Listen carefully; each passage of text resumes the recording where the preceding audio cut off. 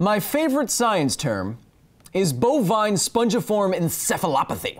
It is a kind of TSE or transmissible spongiform encephalopathy, which basically means it's something that turns your brain into Swiss cheese. That's the spongiform. When you do autopsies on things that have a TSE, you find that their brain is like a sponge, it's full of holes. We only know of a few TSEs. There's less than a dozen that we know of. This is chronic wasting disease, like in deer, and mad cow disease, which is the bovine spongiform encephalopathy, like I said, like I said before. And they are nearly or they might as well be 100% fatal. And they are caused by things, we think they are caused by things that we call prions, which are little packets of misformed proteins that when they come into contact with other proteins, they misform them, and then it kind of causes a whole chain reaction of you're going to not make it. I mean, there's not a whole lot to add to that. They terrify me. And now, so you. Welcome to another edition of Footnotes, the companion show to Because Science, where I take all of your nerdiest comments, corrections, and questions and shameless requests for me to shout you out during this episode and address them. and that reminds me, I just want to give a quick shout out to the. Now, because of the Thanksgiving holiday, I was not actually able to look at all of your comments, corrections, and questions on the Flash Lightsaber episode, the last episode on this channel. So instead of referring to those corrections comments, which I'm sure there must be very few, I am I bet I nailed it. I am instead taking a number of your suggestions and comments and questions from over the last few months that haven't really fit anywhere else, and I'm going to address them here as more of an evergreen episode of Footnotes. If you want to, in like alliteration, call it a, a simple sampling of science questions. Don't give me that face, it works. So, what did you have to say over the last indeterminate amount of time? The first question comes from Maka Woodworking, who says Is it possible for the Flash to undo a tornado by running in the opposite direction? I actually get this question a lot, and I don't think so. What is the Flash? The Flash is a man, he's a man sized thing. And what does the Flash do? He runs really fast. So, when the Flash runs, he will be pulling air around him, moving air around him in accordance with his shape the boundary layer, if you want to get all fluid dynamicy with it. Right at the edge of the flash is where all of the fluid interaction, air is a fluid, all the fluid interaction will be happening on his body, and that's where he will be pulling stuff along. My point in saying that is if you get away from this boundary layer, away from this man sized thing, even if it's going very, very fast, it's not going to affect a large weather system. Think of it this way if you've ever taken the subway and stood right next to the tracks, or gone up to a train crossing, stood right next to the tracks, you sh- shouldn't do that. A lot of people have died taking selfies that way in India. Anyway, if you've ever done that, you know if you stand right next to a train as it's passing by, you'll feel a huge whoosh of wind. That's because it is dragging air along along this boundary layer outside of the train. But if you stand just a couple of feet or a couple of meters back from the train, you don't really feel anything at all. And that's my point with the Flash. He's a man sized thing. Even if he's going very, very fast and running in a circle in the opposite direction of a tornado, he's not going to be moving that much air around him or above him in the opposite direction. Tornadoes can be miles across. So, to affect a weather system like that, I do not think just running on the ground in a circle, even if you're going really, really fast, will do the trick. No, I do not think the Flash really would have that power. Not without at least going so fast that he's causing more destruction on the ground than the tornado itself is causing. Our next comment comes from Alex Brockmeyer, who looks like he's commenting on the Predator invisibility episode, who says invisibility would impact not just your own sight, but also thermal regulation. Unless you could specifically bend only the visible spectrum of light away from you, you couldn't absorb heat energy from the infrared spectrum, and you'd be an invisible freeze boy. Well, that's true. To make invisibility work in a more realistic way, you'd have to pick and choose the parts of the electromagnetic spectrum that you would want to divert away from you. If you're diverting everything, then you're not getting heat light, infrared radiation hitting your body, and you would be very cold, and you'd get colder as your body emitted heat, about 100 joules per second. You're kind of like a big, meaty light bulb. And if you could divert things specifically, parts of the electromagnetic spectrum, you'd only divert visible light, right? because you wouldn't want anyone to see you, but then you're still emitting infrared light, which people could easily pick up with a nice infrared camera, which would kind of invalidate the whole concept of invisibility to everyone in the first place. Where did they go? Oh, our next question comes from DJ Smearls, who says, In Willy Wonka, the original, the better one, ooh, hot take, DJ, shouldn't Augustus have been killed by the pressure in the pipe sucking him out of the river? Well, this is a fun question. I think the problem would be not so much getting sucked into the pipe by a large differential pressure, but being pinned up against the pipe. That's really the problem. So imagine if there was a grate on the pipe and Augustus got sucked down into the chocolate river and was pressed up against that grate because there's low pressure on one end of the pipe going into the intake and high pressure on the other side from the chocolate river forcing him down into the pipe or you know if it's creating suction with a pump or something like that. He would get forced up against the grate and because the pressure differential would be so high, he wouldn't be able to move at all even if you went down there and tried to grab him away from the pipe, he would be pressed up against it so hard that he would just stay under there and drown. And I get so dark with this because this is an actual problem. When people like divers go down to check the intake pipes or uh, grates for dams, there have been cases where divers, because of the pressure differential, have been pressed up against the grate.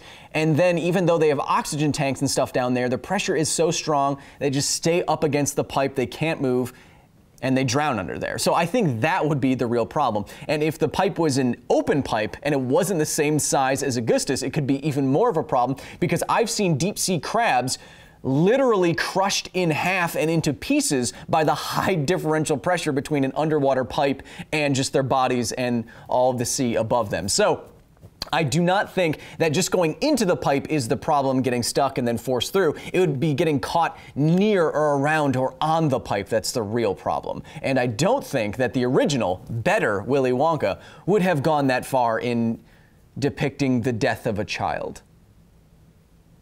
It was all there against the pipe, clear as crystal. Augustus drowned in all that chocolate, and we had to wash and sterilize it so you get his body.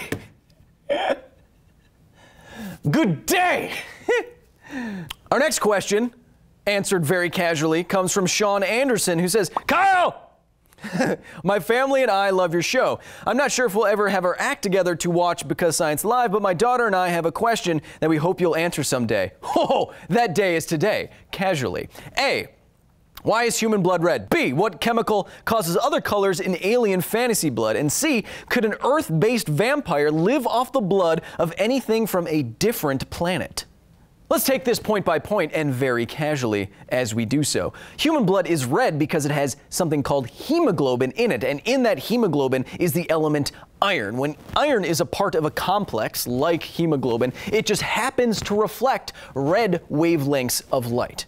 To your next point, and casually, if you had another kind of chemical or element in a fictional animal's blood that reflected a different wavelength of light, you could get a different color. And we don't even have to speculate about this. Horseshoe crabs, as you can see here, have a compound that's like hemoglobin, but instead of iron, they have copper. And this reflects blue wavelengths of light in their blood. And so their blood is actually blue. And there's other examples that you can find in the animal kingdom, a lot of worms that have green or even purplish blood. And to your last point, casually, could an Earth vampire drain an alien's blood without issue? I do not think so. Blood is blood, but it has a lot of different properties like proteins on the outside of red blood cells and such that make it hard to share blood among other people. That's why it's so important to know what your blood type is.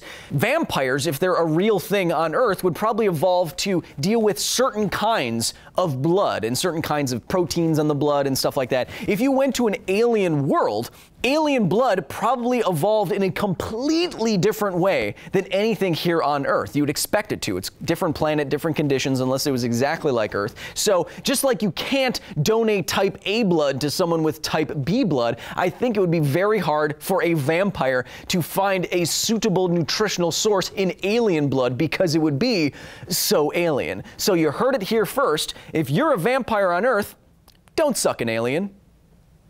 Our next comment comes from C4BZ who says, Hey Kyle, can, he didn't say that. Hey, can science explain the powers of Guinness World Record holder Jamie Keeton? And would someone with his condition perhaps be able to scale walls like Spider Man? Thanks.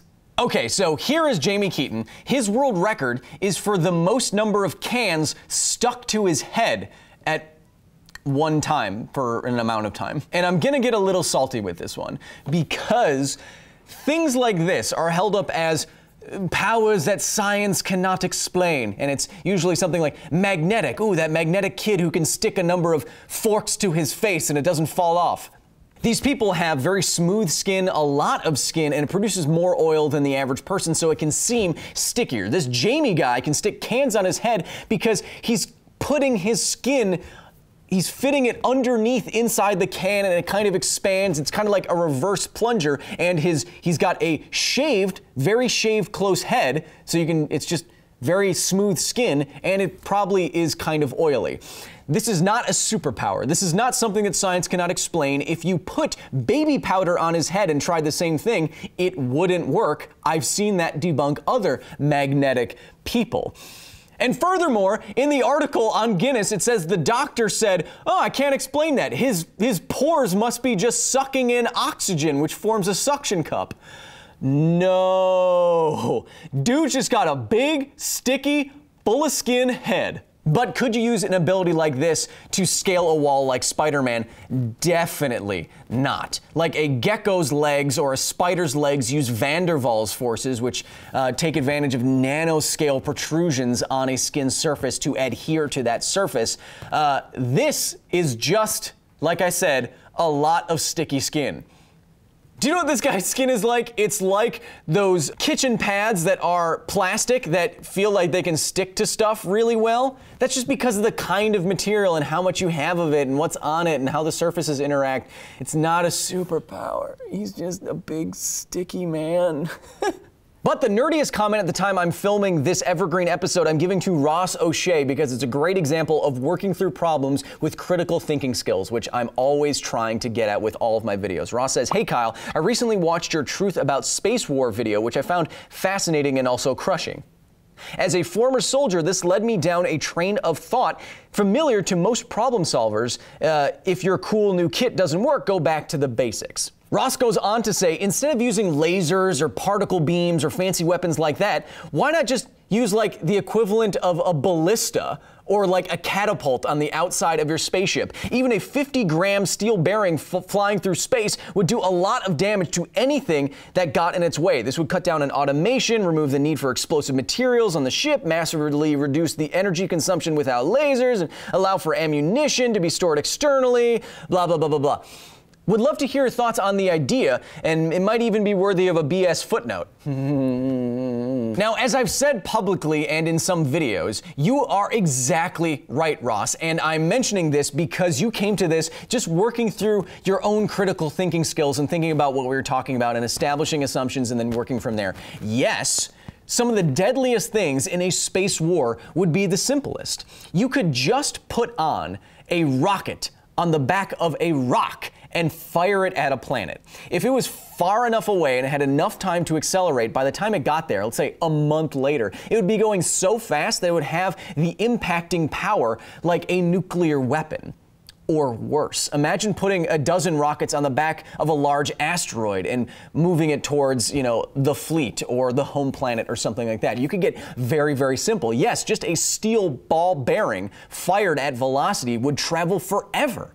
There's no air resistance. It's not going to be curved unless it goes near a gravity well, and it would impact and do serious, serious damage. So, Ross, your assumptions are perfectly accurate. You don't have to get super sci-fi with laser weapons, plasma weapons, you know, antimatter rockets and stuff like that. Out in space, some of the simplest weapons could be some of the best. And for working all of that out yourself and using your critical thinking skills, you are indeed, Ross, a super nerd.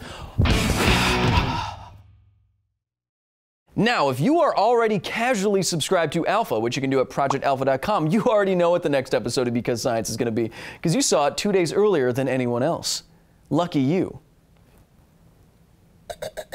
But if you're not subscribed to Alpha just yet, the next episode of Because Science, I'm just keeping it cash. The next episode of Because Science is going to be Can you turn a whole city into a dang car? That's right, in this week's episode of Because Science, we are taking a thought experiment that was just too good to pass up, and we are evaluating it fully. In the new movie, Mortal Engines, the concept is basically turn an entire city into a vehicle that eats other cities. You just can't pass that kind of opportunity up. How much would that city weigh? How fast would it go? How much fuel would you need? We're figuring it all out, and may I say, pretty dang casually too. So go watch the latest episode of Because Science if you haven't yet, leave me all your nerdiest comments, corrections, and questions at youtube.com slash because science, facebook.com slash because science, and at because science on Instagram and Twitter. Or not. Cash. And don't forget, life moves pretty fast. If you don't stop and look around every once in a while, you could miss it. There it goes!